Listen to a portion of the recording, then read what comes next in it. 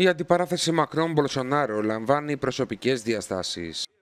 Macron promete ajuda de países. Η ένταση μεταξύ των δύο ηγετών ξεκίνησε με τις επικρίσεις για τη στάση της Βραζιλίας απέναντι στις καταστροφικές πυρκαγιέ στον Αμαζόνιο και συνεχίστηκε με τα υβριστικά σχόλια Μπολσονάρο για την πρώτη κυρία της Γαλλίας που έκαναν τον Μακρόν να εκφράσει την ευχή ο βραζιλιάνικος λαός να αποκτήσει πολύ γρήγορα έναν πρόεδρο που να στέκεται στο ύψος του αξιώματος του.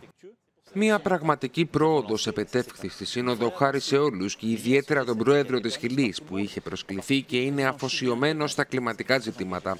Αναλάβαμε μια πρωτοβουλία για την Αμαζονία.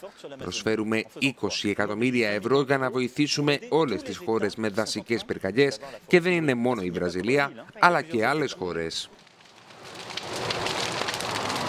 Με βίντεο που ανήρτησε στο Twitter, ο Βραζιλιάνος συγγραφέας Πάολο Κοέλιο ζήτησε συγγνώμη για τη συμπεριφορά του Προέδρου της χώρας του.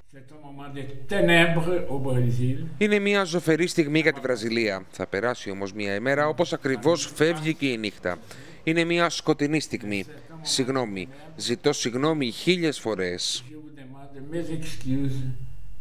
Pardonnez-moi, pardonnez-moi mille fois. Ο Μπολσονάρο πάντως αρνείται τη βοήθεια των G7 εάν ο Εμμανουέλ Μακρόν δεν του ζητήσει συγγνώμη.